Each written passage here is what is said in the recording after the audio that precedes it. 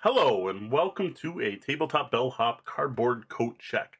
Tonight we are checking in a copy of one of the best rated war games in the entire world, War of the Ring. This is the second edition from Ares Games.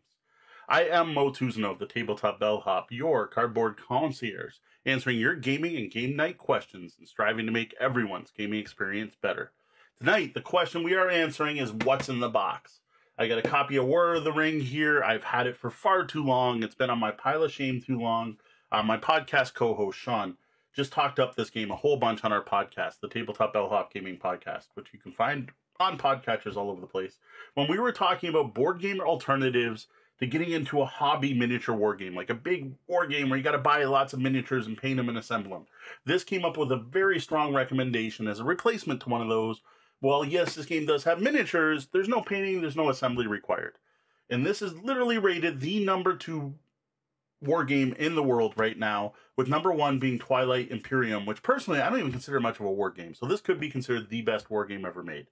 So we're going to take a look at War of the Rings. Again, I am ta- of the Tabletop Bellhop. You can find my content at tabletopbellhop.com. I'm going to dive right into this. First off, I'm just going to cut the shrink off. So I'm going to adjust the angle here so I can get this just using a cheap hobby knife to get this started. So, all about the hills, the hosts of Mordor rage. The captains of the west were found, foundering in a gathering sea. The sun gleamed red, and under the wings of the Nazgul, the shadow of death fell dark upon the earth. The War of the Ring has begun. The War of the Ring is a grand strategy board game that allows its players to immerse themselves in the world of J.R.R. Tolkien's Lord of the Rings and experience its epic action, drama, conflict, and memorable characters. As the free people player, you command the proud hosts of the most important kingdoms of the Third Age. From the horse lords of Rohan to the soldiers of Gondor and the elven lords of Rivendell, you lead the defense of the last free realms of Middle Earth face the evil minions of Sauron on the field of battle in a desperate attempt to delay their onslaught, while you lead the Fellowship of the Ring in the quest for Mount Doom. As the Shadow player, you lead the hosts of the Dark Lord and his most powerful minions as they try to bring darkness to Middle Earth. Legions of orcs, trolls, wolf riders, and the dreaded ring wraiths await your command. Hunt the ring bearer and bring the precious ring to his master, or crush your enemies with your unstoppable armies. This is your chance to forge the destiny of an age. You can see the back of the box here, and we'll put this down and take a look at what you get inside. Alrighty, right on top, we've got the rules and some punch boards. We'll flip through the rules right away. We have player aid underneath, so we'll take a look at these rules first. I am going to just flip to the end just so I can tell you ahead of time. Big bonus right here, last page, in index. Love it. Every game, especially this thick, should have an index. We're looking at 46 pages. Not terrible. Little shorter than, say, Gloomhaven, but not by much. Of course, some of those pages are going to be things like this. It's just art. Uh, we got a nice summary on the edge. There's some notes that this is the second edition. Uh, list of the game components. Looks like this is a pretty sparse pages so far. A lot more, yeah, a lot more. So we're still not getting to rules, so we're cutting down the amount of complexity. But man, look at all those miniatures, right? So I said a miniature game without the army collecting. Well, the army's all in the box. Now there is a deluxe edition of this that costs a fortune that comes with pre-painted minis. That would be impressive to see. That I do not have. Uh, we're looking at the sort of the board. Now we're starting to see a lot more text. So once we get into the rules, it's a little chunkier here. See tons of examples, which is good. Lots of shots of actual stuff from the game. It's always nice to see. Uh, this is a war game, so you have all your terrain types and your different types of borders. No hexes in this one. Another shot of the board. Uh, still quite a bit of artwork, so I'm going to guess that probably about half of this is going to be actual rules. Setting up the game, and again, how to set up. So another big two-page spread of the map. This is not going to be a light one. This is a, a heavier war game. Not for the faint of heart. From what I understand, it is best with two players, but can be played with more. All right, there is a lot of text here. They've given up on fluff, and they're just like, all right, you're going to be playing the game. Here, here is all your stuff. Um, Thankfully, we're not looking at a war game like Section 3.6.8, but this one definitely has got a lot going on. Catapults and sieges. Great Gandalf picture there. People of Middle Earth, the different characters. Fellowship of the Ring. Lots and lots of rules. And it looks like right to the end, we're still going more rules. So the burden of the ring. And then multiplayer rules. So you can play four players, it looks like. And winning the game. So you are going all the way to page 44 with rules. There was some art at the back, but you're looking at a good 40 pages of rules to learn War of the Ring. That's going to be a nice coffee shop afternoon for me sitting and reading this. Then we get to a player aid, and just to prove that this is not a light game, the player aid has more text on it than I've seen in some rulebooks. It is also two-sided with an action die reference chart. Being a two-player game, it does have two of these, which is always nice to see. I always appreciate that. Thank you, Ares Games, for including two. So if you do play four players, you're going to be short. Uh, we have a punch board. Very muted colors. Definitely doesn't pop like some modern games. Two-sided. Then we have the game board. We'll see how well I can get this in camera because I think this is going to be a big one. Oh, not that bad. We just, oh, that's why, because this is only half of it. That's, that makes a little more sense. So we have half of the War of the Ring board here. Yeah, I thought this was going to be a big board. We can almost get it all into the camera here. Um, whole bunch of spots on the edge with action spots. I do apologize for the glare in this one corner where some cards are going to be. Um, the Elven Ruins. You can kind of see some of the features on the map here, especially over here. A lot of empty spots. You got the Shire here. Anyone who knows Lord of the Rings is probably going to recognize this map. I'm not sure what the different colors are, but it's probably where the factions start. So I'm going to fold this in half so you can hold this up a little closer so you can kind of see how the zones are color-coded. Very clear map. Um, text is a little hard to read from here. Like, I'm not sitting that far away. I can't read what this says. This one says Arnor. They did white over the dark background with a black lining. That's a little tough to see. I don't know how often you need to know the names of stuff. Of course, if you're a real fan, you've memorized the map of Middle Earth, and you're all good. That is not me. So we have the other half of the board. Oh, I've got it upside down the other half of the board, this is a, a significantly large board, to be honest. This is, is, is a big game. It's going to take up a lot of room. You can kind of see, I'll scroll down here, you can see the other half. You've got a few trackers here. You got a tracker along the top. You've got some kind of progression down the side, another spot to put cards on. Very solid looking board.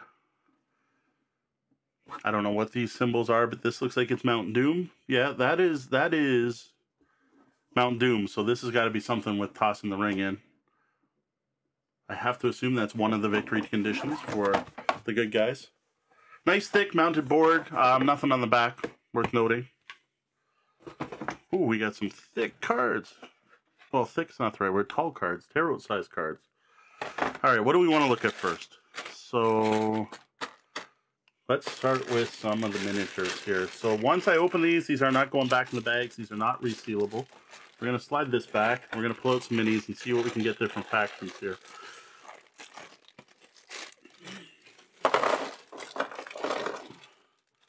So what I will show off is the box insert, which is seems decent enough for what you get here without knowing the game. It works. It's not the most beautiful box insert, but looks good to me. So we have some kind of archers. I probably won't get all of them. We have mounted archers. Nice minis. Like uh, they, they're the, the slightly bendy. Like as you can tell, I can bend this sword without breaking it. We have another archer who's just standing there. Okay, that one we've definitely seen. Uh, there are mounted people with spears. Minis actually have a surprising amount of detail. We have spearmen. To be honest, knowing if I get all of these is going to be a little rough. We're going to see what I can do here tossing here. That might be all of the types. That's all I'm seeing quickly. No, that's a different type of spearman. I don't know if it matters. That's the same horse archer. Spear, horse, horse, spear. So it looks like you might have melee and range combat mount, both mounted or not. Yeah, that's the same one. With, yeah, two different types of each unit type. So two different types of archers, two different types of spearmen. I'm not spotting any others. Oh, this is definitely different. It's a spearman with a spear pointed straight up. So you can see the, the bendy miniatures. Uh, some people aren't going to be happy about that. I have heard a trick that if you put these in very hot water, they get a little, they'll straighten up and then you put them into ice water. It fixes them. I don't know if that's true. Don't go off my word on it. Try that. Uh, but it might work. Personally, I don't care. I'm not, I don't need painted, perfectly painted miniatures when I'm playing. So I do apologize if there are other unit types in here. Well, there's definitely one. I found a dwarf.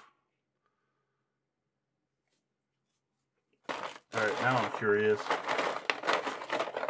So there are just a bunch of minis here. All in this light blue color. I see another dwarf here. So yeah, there's definitely a few different unit types here I may have missed. Then we're going to get into the white characters here.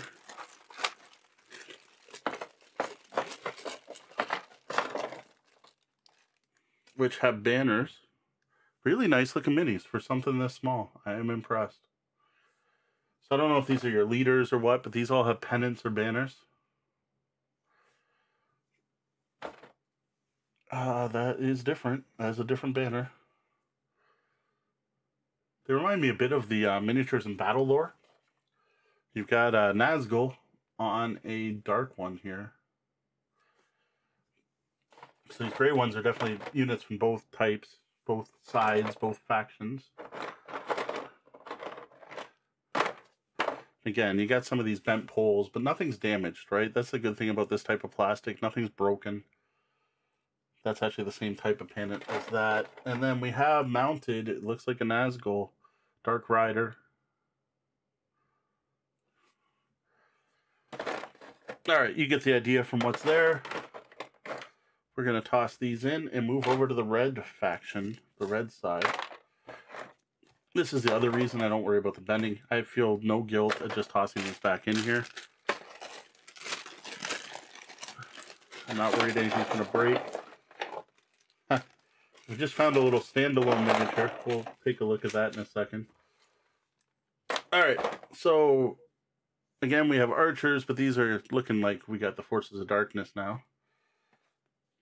Yeah, that's definitely some kind of nasty orc or Uruk-hai. Spiky armor and such.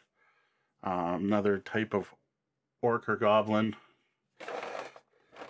You got some big looking, possibly ogres. You got war elephants. Lots of different unit types over here. Uh, spearmen. Definitely the, uh, oh no, that's the same archer? That's the same archer. That's pretty much the same. Again, I'm going to flip through these quick to see if I see any other sculpts. More elephants.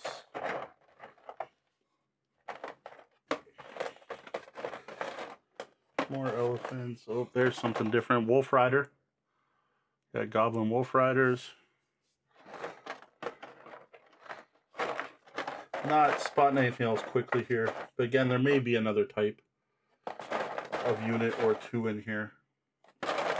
Very cool minis. Very impressed. So there we have some of the, the evil factions armies. Then in this little bag, we have a Smeagol. We have Gollum. So it looks like the heroes and name characters are kind of silver. That is a really cool looking Gollum mini. Hopefully the camera will zoom in a bit on him. On, focus. Focus, camera, focus. Don't focus on War of the Ring, focus on Gollum. Uh, you can at least kind of tell the shape there. I do apologize, my camera's not focusing in on him very well. So we have Gollum, and then we have a bunch more of the name characters here in silver. I'm not going to try to guess who's who here. Just in case I get it wrong and offend a fan. Well, okay, that's Gandalf. That one's pretty obvious. Then we got one of the half halflings, one of the hobbits. We got, I would guess, Elrond. I said I wasn't going to guess, but I'm guessing. Uh, someone on a horse could be the King of Gondor. I'm not sure what that's going towards. Gimli would be my guess. I said I wasn't going to guess, and here I go.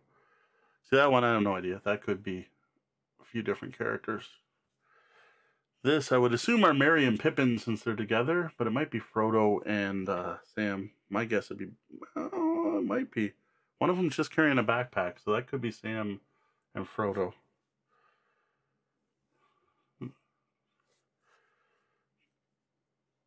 Why? Oh, one of the other wizards, I'm guessing? Maybe Radagast, maybe Saruman? And yet another, that looks more like a Saruman, to be honest. Looks like we may have three or four of the wizards. Alright, named characters. Alright, what else we got in here? We got some funky dice. Funky dice are always cool.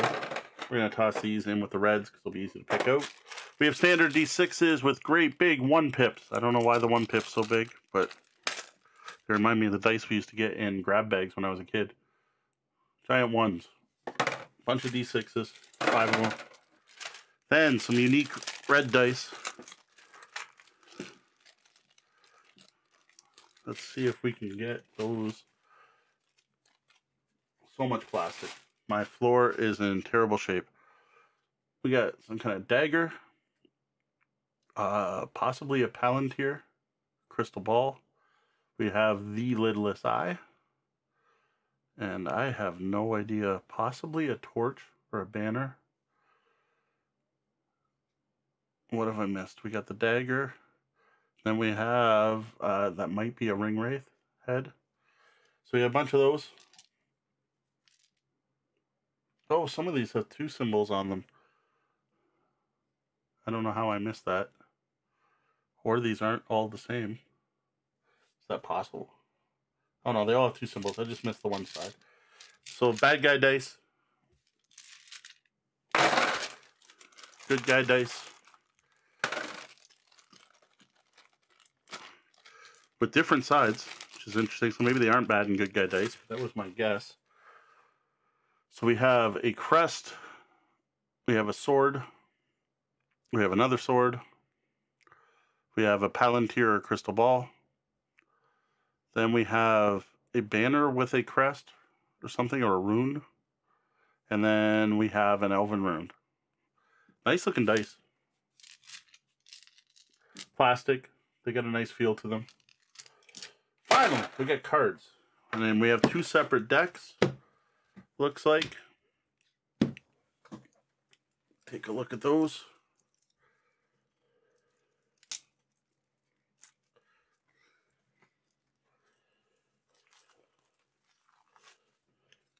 It's one stack.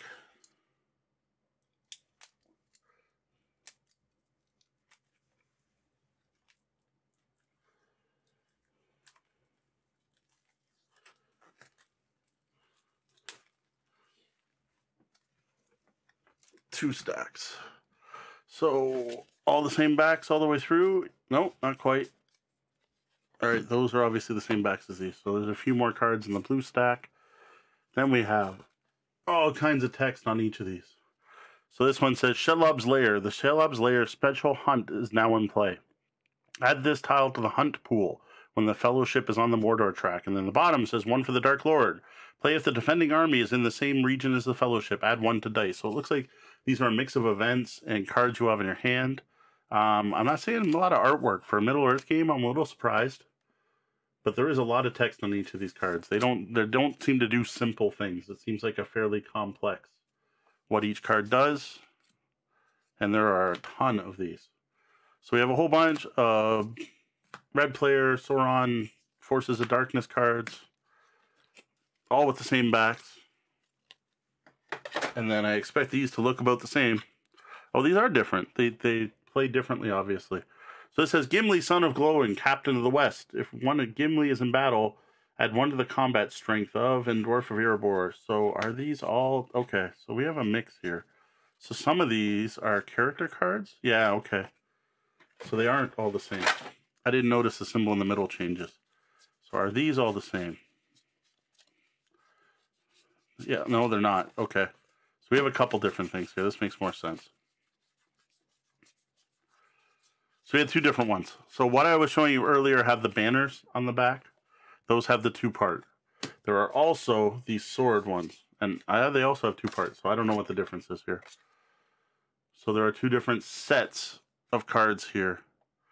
Durin's Bane, the Balrog of Moria, Words of Power. Yeah, I'm not sure what the difference is. But then also going through these,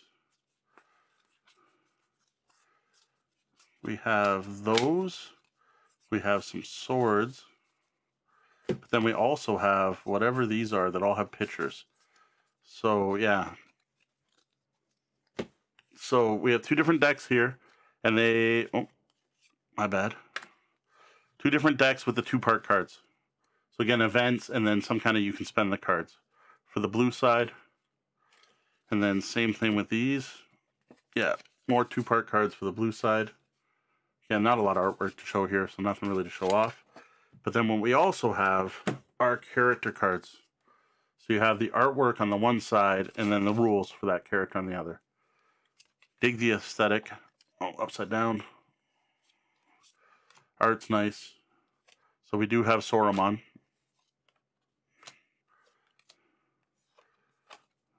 There's your Aragorn.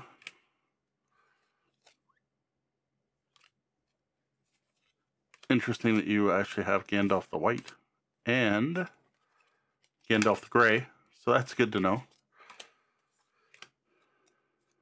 Boromir, yep. And Gimli. Alrighty. So that is everything you get with War of the Ring. Not a lot of cardboard in this. It's almost all minis. Uh, just the one punch board, which is a little surprising. Quite the hefty rule book, though. Looks like uh, quite the game to learn. It's going to be on my reading pile next time I'm out. Huge, massive board. Two parts. This times eight. That is a, a big game. That is going to take up a lot of my table. I've got a big enough table for it, but people may have a problem with that, depending on how much room they have in their game room. Uh, that's it for punch boards. Just the one punch board. Not a lot of not a lot of tokens and stuff. And it looks like a lot of these just go out on the map to mark that something's going on in an area. Excellent looking player aids. Love to see that two sided to explain what the different dice symbols do. And a nice 44 page rulebook. Looks good, Ares Games. I'm impressed. Minis are nice. Yeah, there's a few bent. That's what you expect with those little rubbery minis. I gotta say, rubbery minis are better than plastic minis that break in the box. I would much rather have this style of miniature than a Games Workshop style or plastic that I can't just toss back in the box like that, that I now have to put on a shelf and try to uh, keep safe in between games. So, so there is a look at what you get in War of the Ring from Ares Games. Um, from the UK, so you can get that imported over here. Uh, this one's available everywhere. This is literally the the second highest rated war game on Board Game Geek right now, beat only by Twilight Struggle. So this is the only folk on a map style game because Twilight Struggle is much more of a card driven uh, area control game. I gotta say, it looks impressive. What what you get in this box looks really good. Ton of miniatures. If you are looking for some miniatures for your D and D game, but they're smaller scale. But if you just want a bunch of minis, this might be a way to go. Uh, I don't know the price point on this off the top of my head though. So that's it. Um, again, I am Mo Tuzano, the Tabletop Bellhop. You can find me all over the web as Tabletop Bellhop, one word. Uh, whether that's social media, Twitter, Facebook, uh, Pinterest, any of that spots uh, here on YouTube or on Twitch, it's all Tabletop Bellhop, one word. Um, one of the things we do is we answer your gaming and game night questions. That's what I do over at tabletopbellhop.com. We are trying to be a Dear Abby for gamers. And if you've got a gaming or game night related question, send it to questions at tabletopbellhop.com.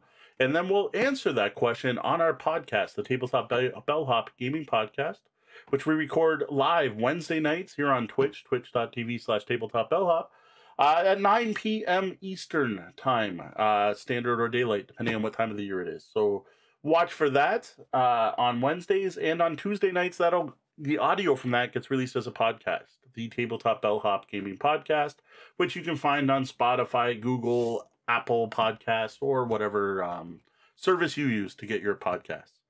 Uh, that's about it for me. One last thing, if you did dig this video, it'd be awesome if you headed over to patreon.com slash tabletopbellhop. and consider tipping your bellhop. For Tabletop Bellhop, I'm Mo, the Tabletop Bellhop, your cardboard concierge. Good night and game on.